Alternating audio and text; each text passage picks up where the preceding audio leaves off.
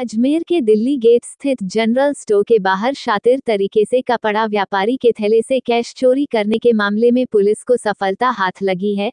Police ने महिला चोर गिरोह की एक महिला सदस्य को गिरफ़्तार किया है। पुलिस आरोपी महिला से उसके अन्य साथियों के बारे में पूछताछ में जुटी है। गंज थाना पुलिस के अनुसार कि 13 सितंबर 2022 को समय 7 पीएम के करीब दिल्ली गेट स्थित जनरल स्टोर के बाहर से दो महिलाओं ने एक बुज़ुर्ग कपड़ा व्यापारी के स्कूटर पर रखे थैले में से कैश व डॉक्यूमेंट से भरा बैग चोरी कर लिया था।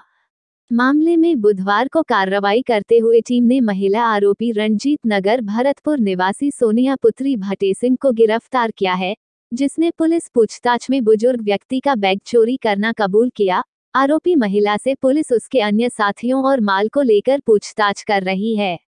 दादा क्या मामला है? किसको गिरफ़्तार किया और किस मामले में गिरफ़्तार किया? कल रात को सोनिया नाम की एक लड़की ने दिल्ली गेट चौकी पर किसी की स्कूटर से पर्स पार कर लिया था।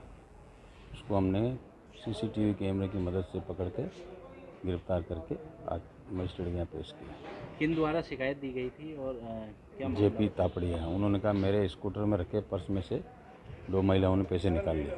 जी लगभग कितने पैसे? लगभग पचास हज़ार रुपये। ये कौन है महिला? जो दो थी उनमें से एक है। ये, क्या नाम है? सोनिया। कहाँ की रहने वाली है? भरतपुर की। इसके ऊपर कोई पूर्ण मुकदमा वगैरह या बरामदी नहीं वगैरह अभी तो पता नहीं। पेश कर दिया हाँ पेश कर दिया कोर्ट कोई? पर्स में से सामान वगैरह गायब हुआ था जो कुछ बरामद हुआ है? कुछ बरामद हुआ है कुछ बाकी है। आपका नाम? इकबाल खान एड